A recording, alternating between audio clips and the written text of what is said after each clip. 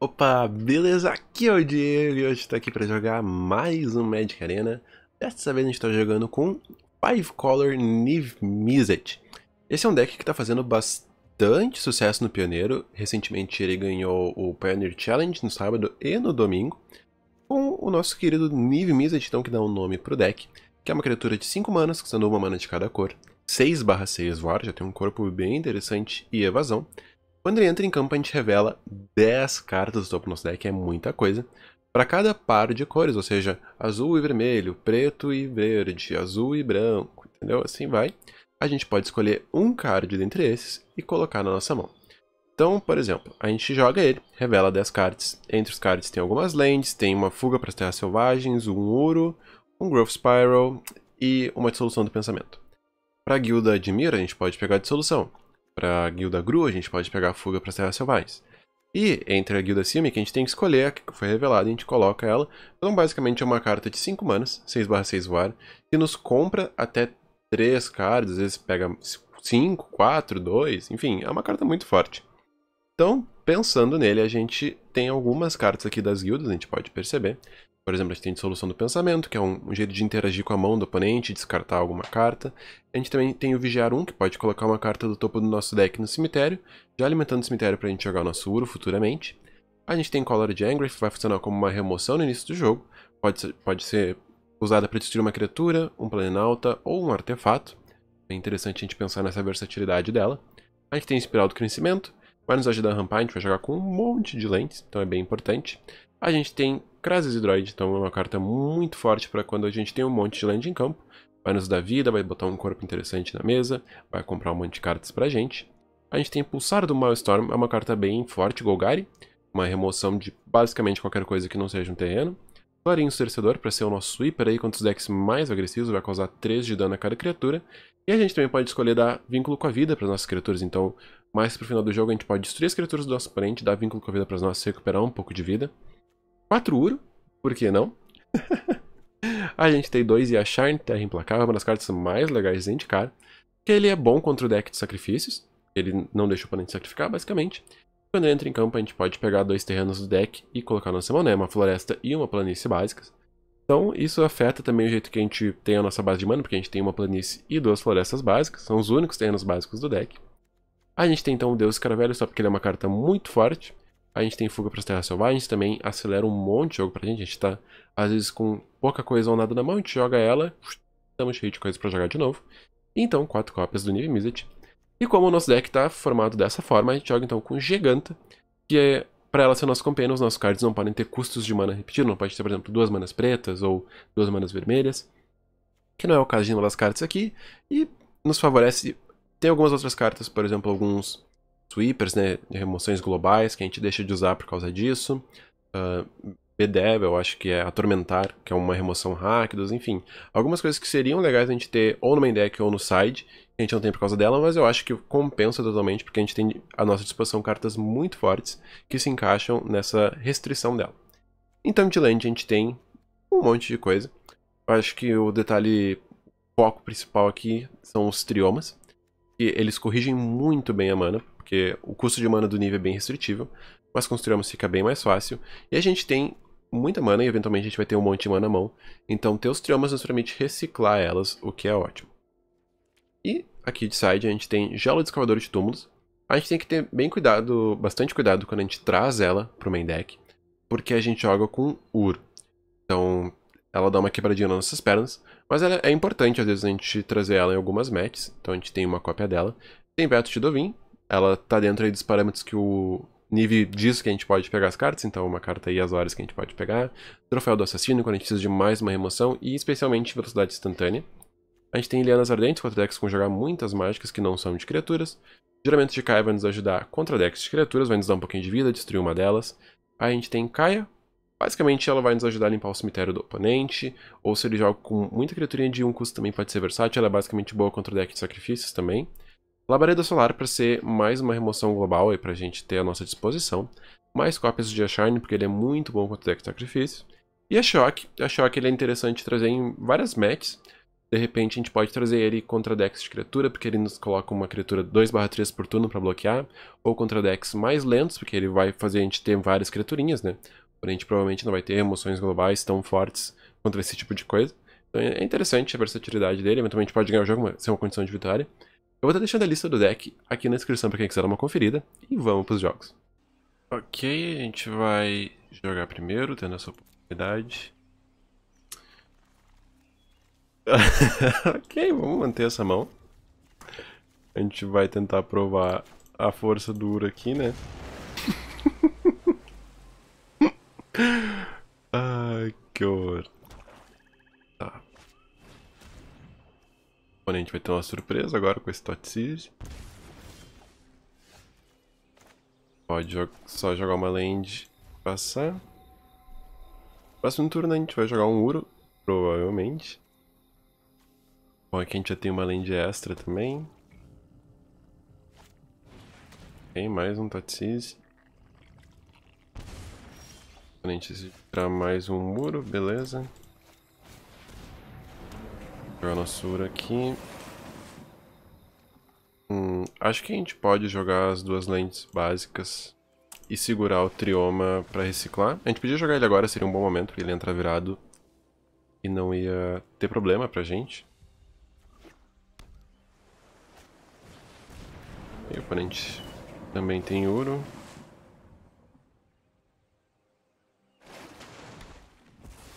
E agora? Vamos ver. Aqui a gente pode jogar uma Krasis para 3. E a Shine, beleza. O problema é que a gente já comprou a planície que a gente tem no deck, então... Não vai pegar muita coisa não.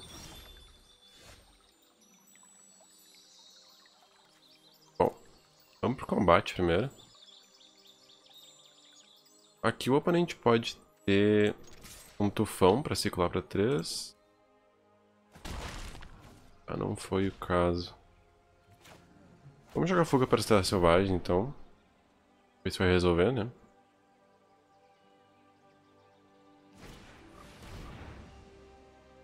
Acho que a gente pode colocar no topo. Pegar um terreno. Eu tava segurando o nosso trião pra reciclar só se a gente comprasse muitos terrenos extras, mas não foi o caso. Acho que 6 manas é um número que a gente quer, a gente quer até, até mais, né? Podemos... a gente pegar uma floresta. Tem cinco cartas no cemitério, isso é um pouco problemático, porque em seguida ele pode tentar escapar esse ouro. Tá, vamos bater. Jogar essa fuga para as terras selvagens.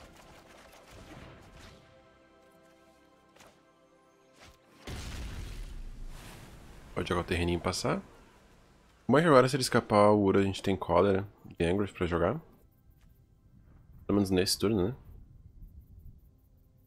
Tem bastante coisa pra jogar, na verdade. Ok, Krasis.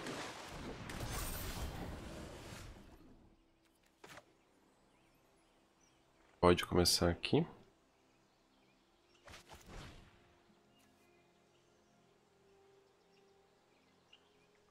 É, vamos aqui. E acho que a gente pode jogar o Deus Escaravelho.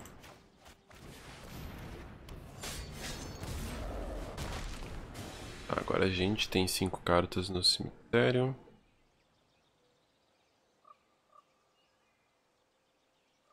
Problema de jogar um Ura é que a gente vai acabar exilando os outros, né?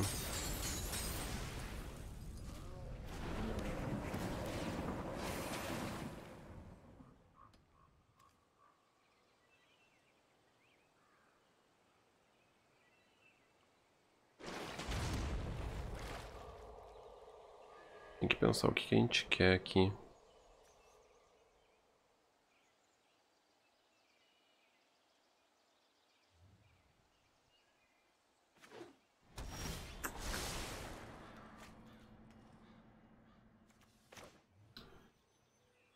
Fortaleza glacial.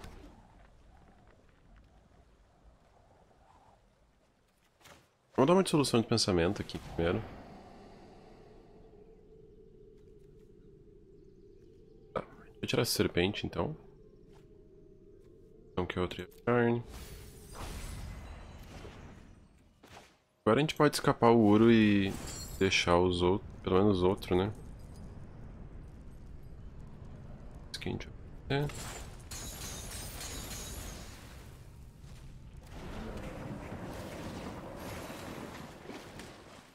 Não tem land pra usar ela, vamos bater aqui. Passar o turno. Se o oponente bater, a gente vai bloquear com o nosso... Ou será que não? Bom é que se ele tiver evento de extinção e ele escolher ímpar, o dele também é exilado. A gente vai bloquear sim, na verdade, se ele bater.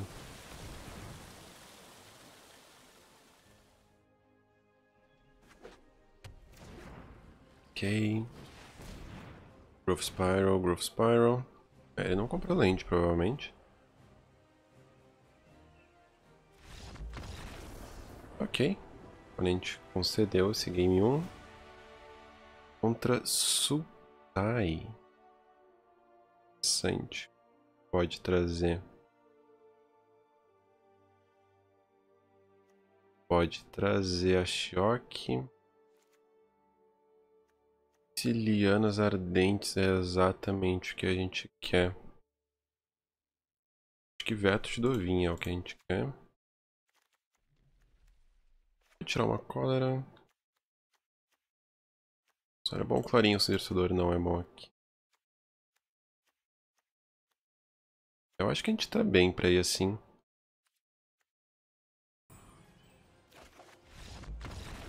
Ok, então, né?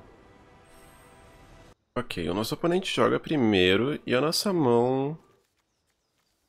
Hum, é um Iorion. Acho que a gente pode manter. Olá pro oponente. Tá, a gente pode... Vamos pensar aqui um pouco. A gente quer jogar de solução turno 2, então se a gente jogar Cripta de Sangue e Cascata de Enxofre, a gente já consegue. Então vamos jogar aqui viradinho pra gente não pagar pontos de vida. A gente pagou dois. Ou oh, descarte a Growth Spiral. Será que vem por aí?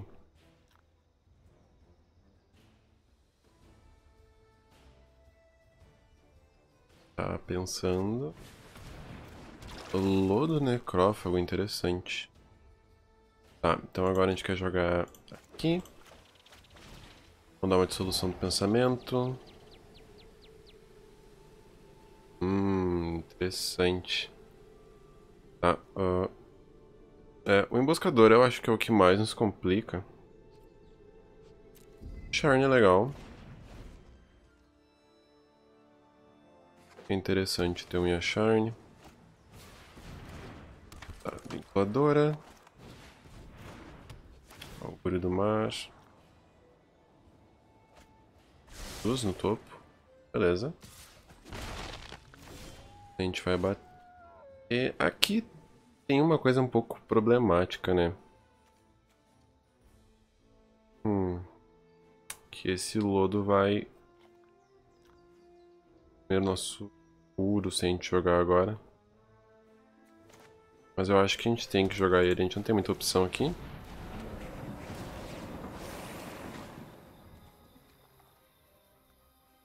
pode jogar aqui virado. Próximo turno a gente vai provavelmente jogar Fuga para as Terras Selvagens. O problema é que esse deck aqui que o oponente está jogando eu vou chutar que joga com anulação.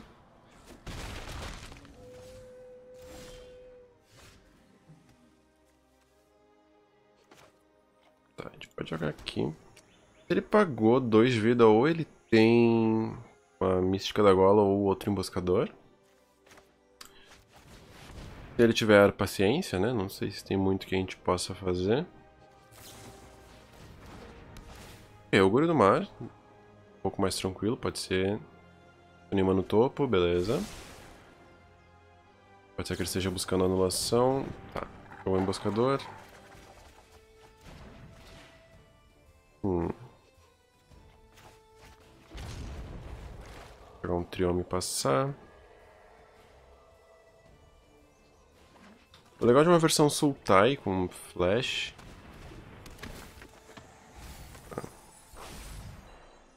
Provavelmente vai exilar o nosso Uro agora, né? Faz todo sentido.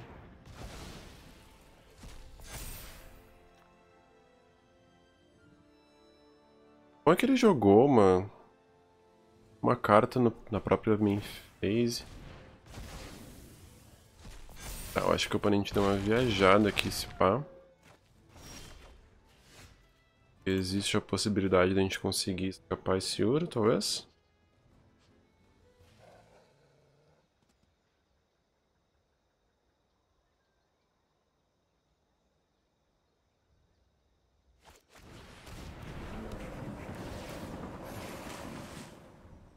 Tem que jogar aqui. Vai ser verde, verde, azul e azul. É isso.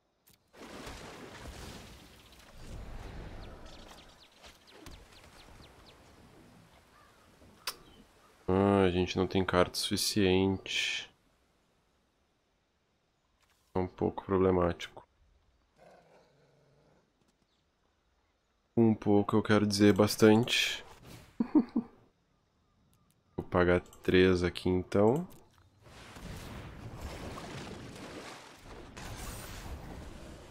vez do oponente.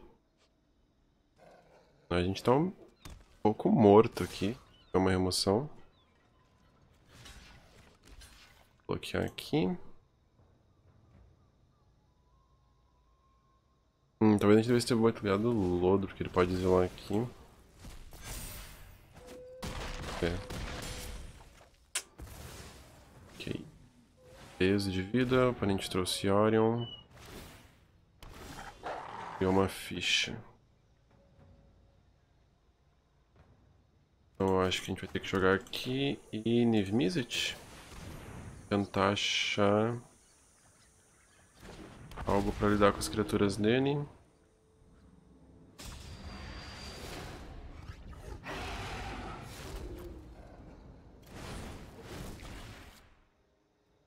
Era exatamente isso que a gente precisava. A mesmo que a gente joga esse Ura aqui, a gente vai acabar perdendo. A gente vai pra 6. É, que fechou. A gente fez uma misplay muito grande ali no início com as manas. Não com as manas, né? A gente não percebeu que a gente não ia conseguir jogar o Uro. Aqui a gente quer labareda solar e tiramento de Kai, eu acho. Pode tirar... Hugo Macrases e a Shine. Acho que uma cólera também. Pode, pode deixar assim, eu acho. É, acho que assim tá bom. Cólera eu acho que ela não é tão boa, porque ele joga muitas criaturinhas, então fazer ele sacrificar uma delas não parece muito interessante. Agora a gente quer jogar primeiro.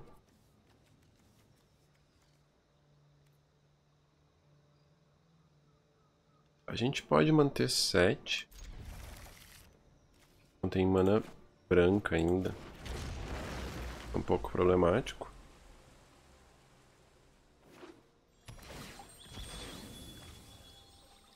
Pelo menos assim o oponente tem um início bem lento. Vou jogar aqui e passar. Com sorte, nossos espirais de crescimento... Tá, jogou um lodo. Jogar aqui virado. Gente precisa de mais lands.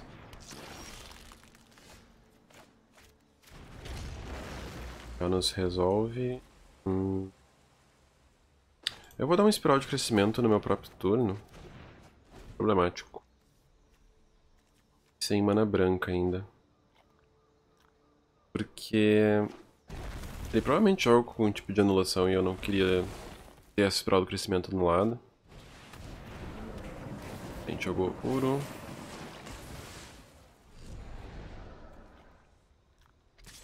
Bateu dois, beleza. Aqui a gente com certeza vai pagar 2 de vida. E a gente pode jogar o Niv Mizzet agora. Ok, vamos pegar três cartas. Parece bom. Parece bem bom pra gente aqui. Agora, próximo turno a gente tem que pensar direitinho como é que a gente quer fazer. Que a gente provavelmente quer se livrar desse lodo para poder jogar nosso Uro tranquilamente. Fúria do mar... Topo no fundo. Eu acho difícil ele conseguir matar o Nive com uma mana só. Duas eu já acho mais possível.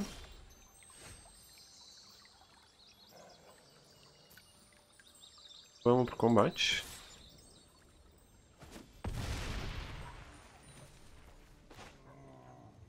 A gente pode jogar um juramento de Kaia. Tá esse lodo. E depois a gente joga no Suro.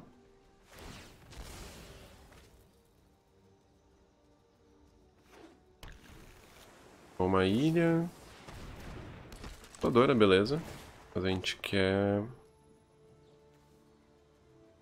É, a gente quer matar o lodo mesmo. Vinculadora não faz tanta diferença pra gente, pra ser sincero.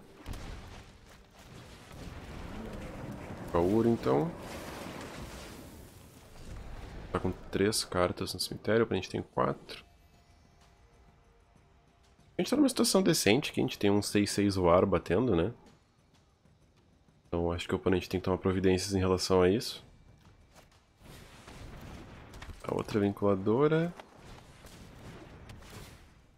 Pode procurar um terreno básico, beleza. Viradinho.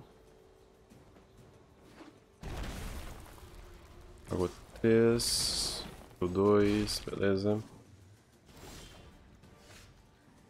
Tá, eu vou pro combate.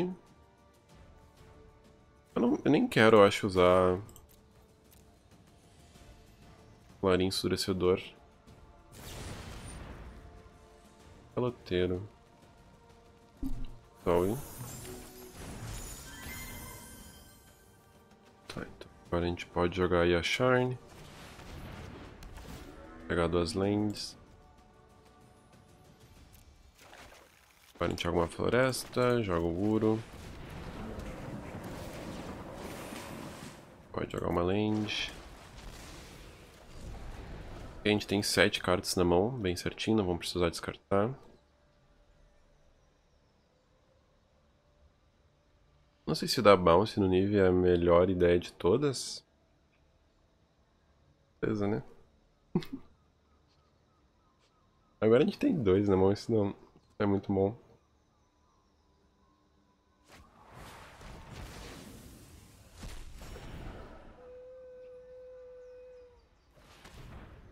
Agora seu pó ele consegue tirar nossos duros.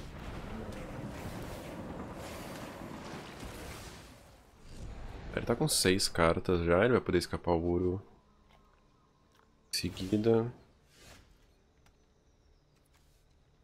Agora eu acho que eu não me importaria de dar o clarim escurecedor.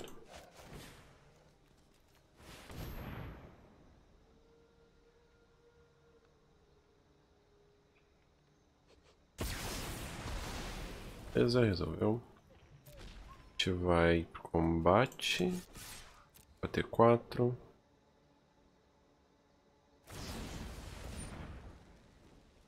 Vai dar bounce, beleza.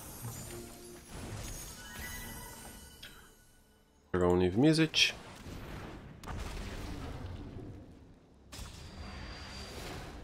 Pegar essas duas. A gente pode jogar aqui virado. A gente tem que descartar um card. Pode ser dissolução do pensamento. Porque ele só tem uma carta na mão, acho que não vai ser relevante o suficiente.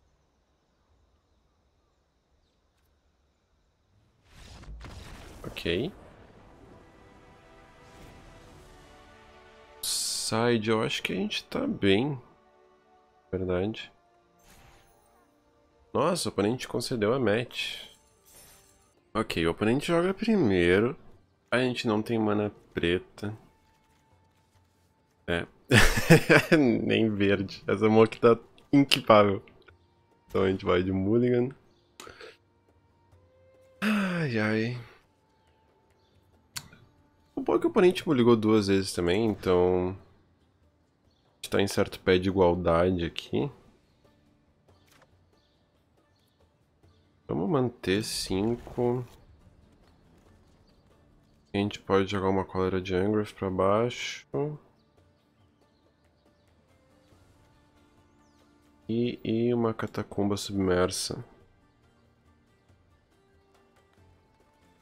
Será que é isso que a gente quer?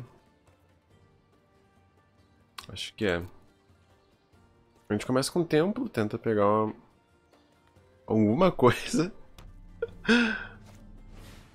ok, Gru Agro. Nossa, que perfeito esse clarinho estabelecedor aqui. Tomara que ele não fique cheio de criaturas 4/4, né? Mas... A gente não quer espiral do crescimento, eu acho. Porque a gente tem duas cartas já de custo 2, que a gente quer usar o quanto antes. E a gente realmente precisa...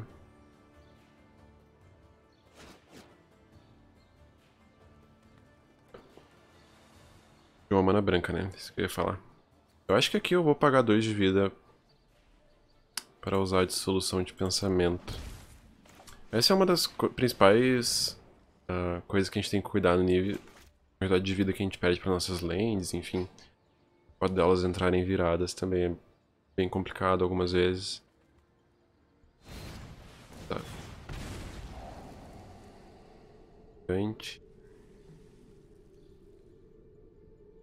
Tá, eu vou tirar a criatura. Qual que a gente quer? Porque ele tá sem mana. Então, provavelmente ele esteja longe da companhia agrupada. A Burning Tree Emissary, beleza. Hum.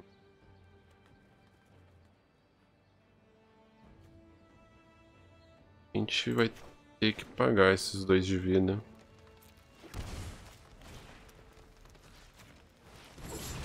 É um pouco tiltante pagar dois de vida, porque ele vai sacrificar uma criatura, ele não vai atacar com ela.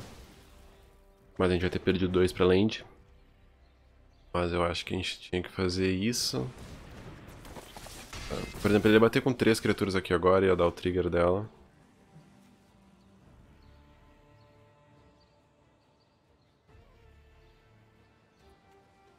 Tá.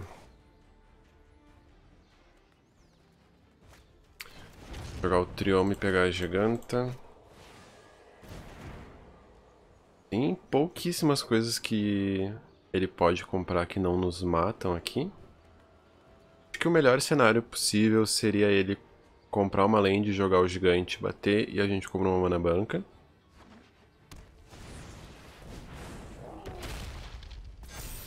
É, não pode ser uma Shock Land. Hum, aqui a gente perdeu já. Complicado. Dois mulligans a 5 é complicado. Tá. Agora aqui... Tem que pensar. A gente quer exatamente solução do pensamento. Clarinho Suricador é bom. Carne é bom. Caravela não é exatamente o que a gente quer. Fuga também não. Crases a gente pode deixar uma só, porque ela é meio lenta. Então a gente quer juramento de Caia. Pareda solar, com certeza. Hum... Acho que a gente pode trazer ou a Shock ou o Troféu do Assassino. Eu acho que a Shock é melhor, que ele bota um monte de blockers. Hum, já o Escavador de Túmulos para a companhia agrupada, mas também para o nosso Uro, então acho que não vale tanto a pena assim. Eu acho que tá bem. Cuido. Tá, vamos jogar primeiro. Hum... É, a gente tem a Labareda Solar, que é uma carta boa. Jogando primeiro, mas a gente não tem mana branca e nada que nos ajude aqui, então a gente vai ligar. Ok, essa mão aqui já tá extremamente melhor. Uma pena a gente vai ter que jogar o nível pra baixo. Mas tudo bem.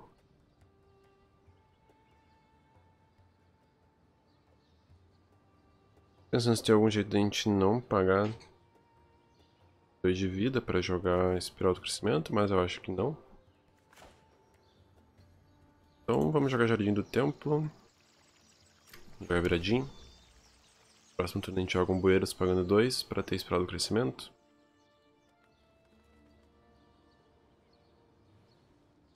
Acho que o ideal é a gente jogar o Clarim Ensurdecedor primeiro. Porque tem algumas cartas, como Quebra-Mágicas Cru, Questing Beast, que ele não mata e a Labareda Solar mata.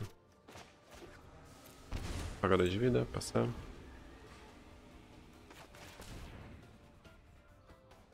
Será que o oponente tá mal de mana de novo? Eu não vou reclamar se ele estiver mal de mana. Beleza, bateu um.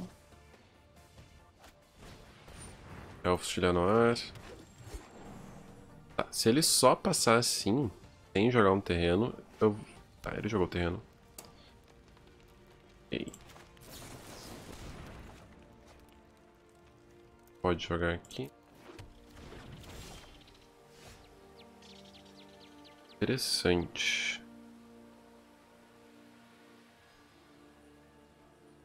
Juramento caia. Eu vou jogar o juramento no elfo, eu acho. É, eu acho que é a melhor opção aqui. Talvez a gente pudesse deixar o elfo para ele ter um jeito de rampar. E a possibilidade de jogar mais de uma criatura nesse turno, melhorando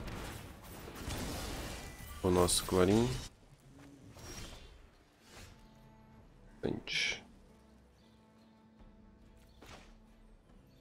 Acho que aqui a gente pode jogar o Yasharn.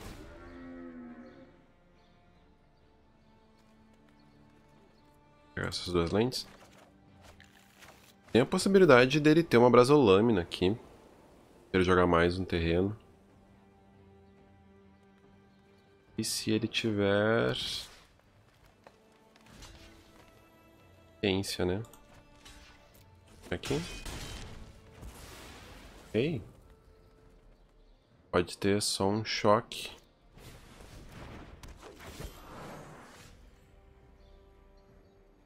Tá, vamos... Jogar um clarim esclarecedor. Bater 4, recuperar 4. Jogar uma land, trazer a giganta. Acho que a gente tá numa posição bem confortável aqui, pra ser sincero. Saio da árvore flamejante, beleza. Passou. Vamos bater. Tá, o oponente levou. Vou jogar o Nive. Uh. Tá. Três cartas. Vou jogar aqui e passar a vez. Eu não sou nenhum especialista, mas... Acho que ficou difícil pro nosso oponente. A gente nem chegou a usar a labareda solar. Quando o nível funciona é muito absurdo. Que horror. Tá, deixa eu pensar. A gente não tem muitos jeitos de lidar com Brasolâmina, né? Talvez Troféu do Assassino seja interessante. Tá, o oponente joga primeiro e a gente tem um início muito lento aqui, apesar de ser um pouco tentador. Ficar com essa mão, mas a gente vai muligar. A gente não tem ramp, a gente tem um drop 4 um drop 5 e isso aqui não é uma remoção de criatura. Tá, a gente pode manter 6. Um trioma pra baixo. É, eu acho que pode ser sim. A gente começa com um Trioma de Halgrim, Mulo Aquático. Ah, interessante o oponente ter... Começou com uma mana virada. Não é o início mais rápido pra ele. problema é se ele tiver uma sequência. Ok.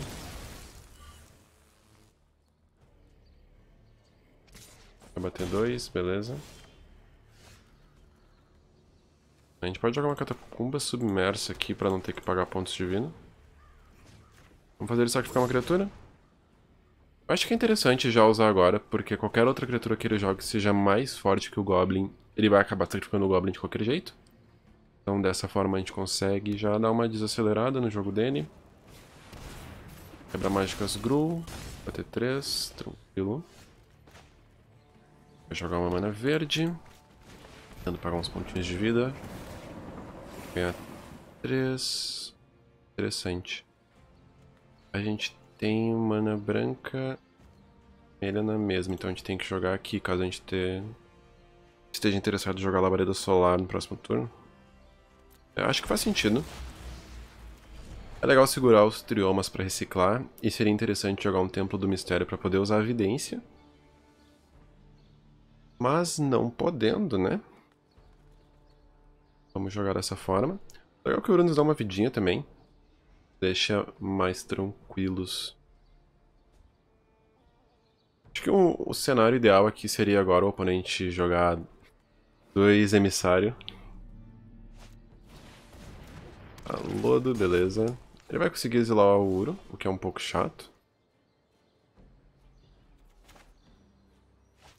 Mas a gente tem que usar a labareda agora, a gente não pode deixar ele voltar com duas criaturas vivas. Tá, vai exilar o Uro, beleza, paciência. A gente só tá um pouco mal de mágicas aqui, né? A gente realmente precisa achar alguma coisa. Vamos dar uma evidência. Dissolução do pensamento. Cada, eu acho que não é o que a gente quer aqui. Ficar pra baixo. Apesar que o oponente tem três cartas na mão, é possível que a gente fosse conseguir descartar alguma coisa interessante.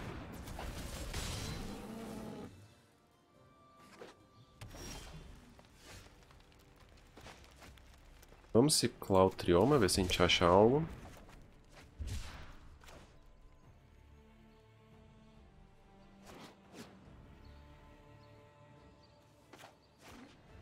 Fazer uma coisa um pouco perigosa. Acho que é interessante a gente trazer a giganta. Acho que a gente vai jogar a fuga para as terras selvagens no próximo turno. Deixa eu você pode exaurir ele, a criatura não pode bloquear. Gente.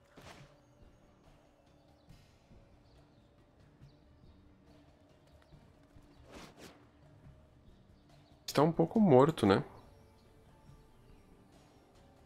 Se a gente não lidar com essa criatura. Que ele pode nos dar 2 de dano aqui.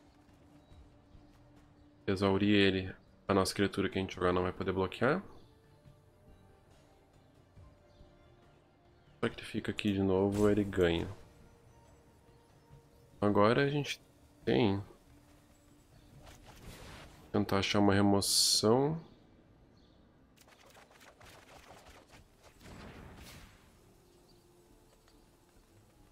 Putz, não sobrou mana pra gente jogar com a de Angrath.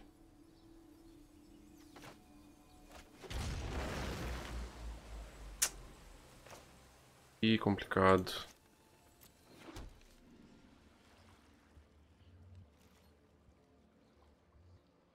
Vamos ver se o oponente... É, o oponente provavelmente sabe que ele nos mata dessa forma.